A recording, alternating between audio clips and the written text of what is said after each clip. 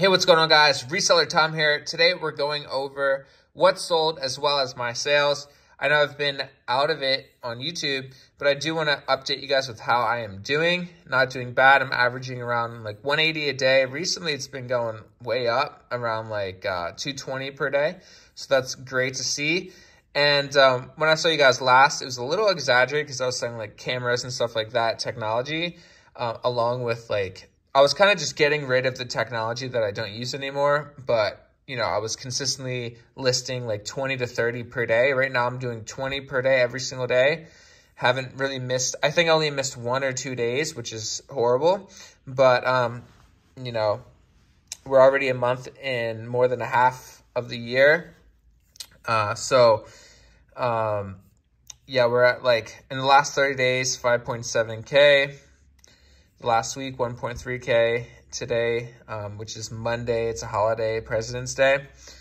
Uh, it's 10 a.m. and I'm at 115 um, dollars, which is not too bad. So I'll probably end the day around 200 again. Uh, the last 90 days, 16,000 which is different from my phone. My phone says 19,000. I'm not sure which one's right. But we're going to go through every single thing that sold over the weekend. We're going to go super fast. So I apologize if like, you know, it's just really fast. But I do want to go over what sold just so you guys get better value. And everything that has sold, I found from the bins. And I try to get only good condition. Like I try to really avoid anything that has, um, anything that has like holes or, um, like stains or anything. I am top rated.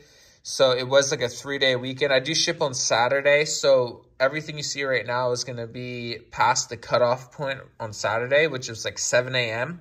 So this has been from 7 a.m. to 10 a.m. on Monday. So Saturday to Monday, 30 items sold. And I'm listing about 20, like I said, per day consistently. And so we're going to go over everything that sold. And um, so the first thing is the Santa Cruz tank top. It is a large. I don't usually pick this up, but it sold for uh, $14 total. I'm just going to go over the total. So the price bracket that I have for shipping is $5.95 for first class and then $8.90 for anything that is priority mail. My price brackets on my website are anywhere from like $12.95 uh, the next tier up is fourteen ninety five, and then it is seventeen ninety five, and then it's twenty four eighty eight, and then if it's like really nice, if it's a jacket or anything like that, usually I'll price it at thirty four um, 88 and those are kind of the price brackets that I go with. If I see something is way more expensive, then I'll try to price it over the 34, but usually that's where I price everything at. So if it's just like something super basic like this, it'll just be 12 95 and then if something's really old and it's been around for like six plus months, I usually just put at like $9. I just want to get rid of it. So I'm just going to go over the totals.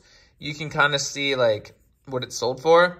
So we're just going to go really fast. You can um, slow down the speed if I go too fast, but I just want to go over go over what sold, what I'm finding in the bins right now, and what is selling. And it's just all bread and butter stuff, all just basic stuff. A lot of the stuff is first class, so I try to mainly get first class stuff just because it's cheaper on shipping, less in fees, all that good stuff. So 14 total, Santa Cruz tank top.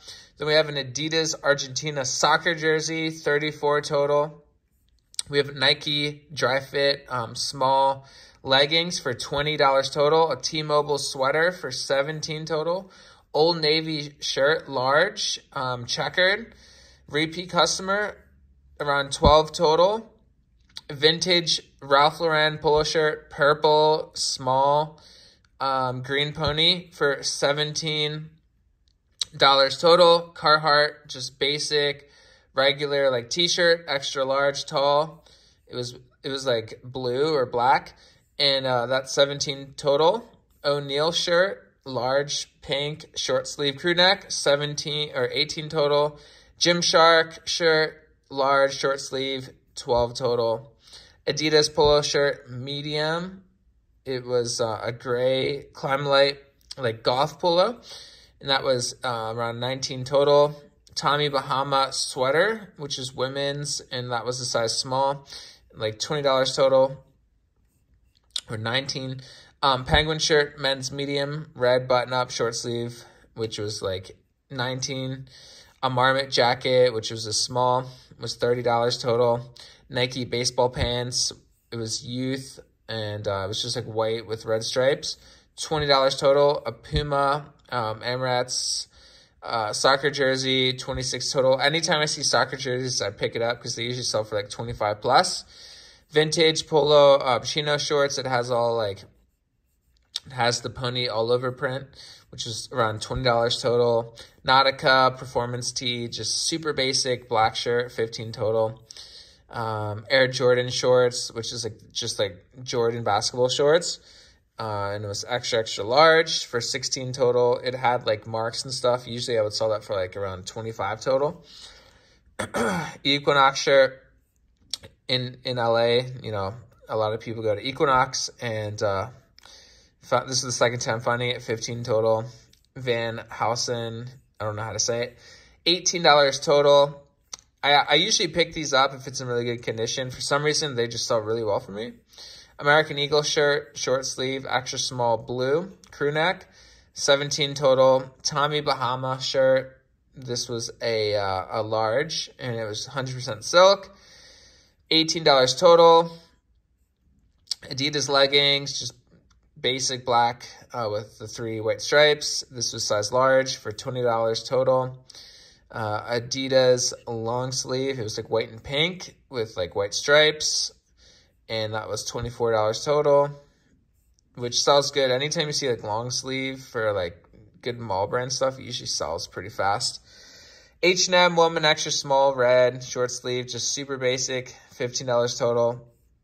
Pink by Victoria's Secret, just long sleeve, like basic shirt. It's like a sweater kind of, $17.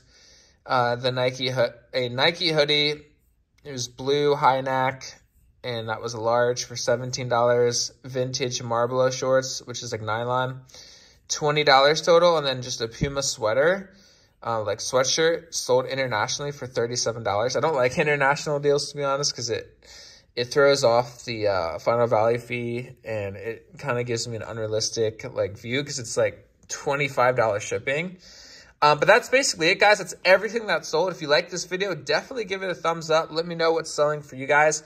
If you like this type of content, let me know and subscribe because I will be posting more of these. Have the best day ever. We'll see you guys in the next one. Peace.